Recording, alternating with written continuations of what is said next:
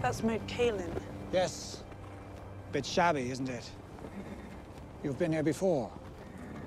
On our way down to King's Landing with my father and Arya. Where are you taking me? Home.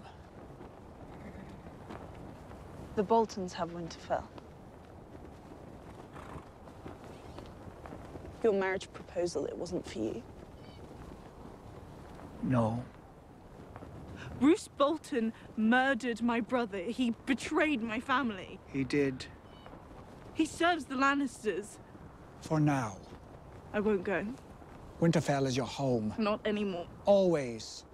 You're a Stark. Dyeing your hair doesn't change that. You're Sansa Stark, eldest surviving child of Ned and Catelyn Stark.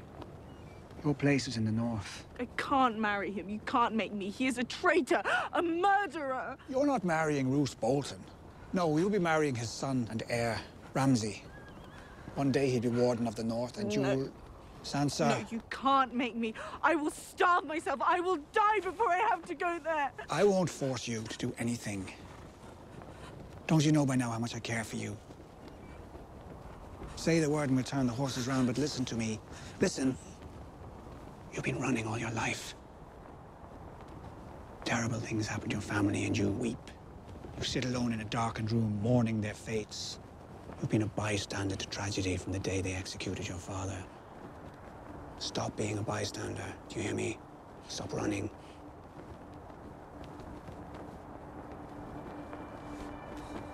There's no justice in the world. Not unless we make it. You loved your family. Avenge them.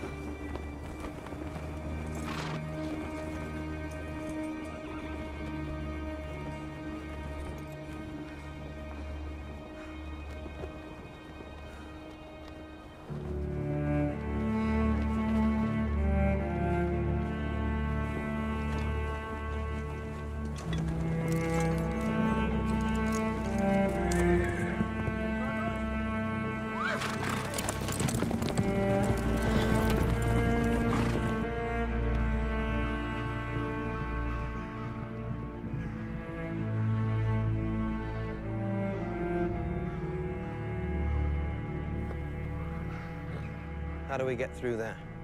We don't. We go around. Takes us miles out the way. We'll lose sight of them. Doesn't matter. I know where they're going.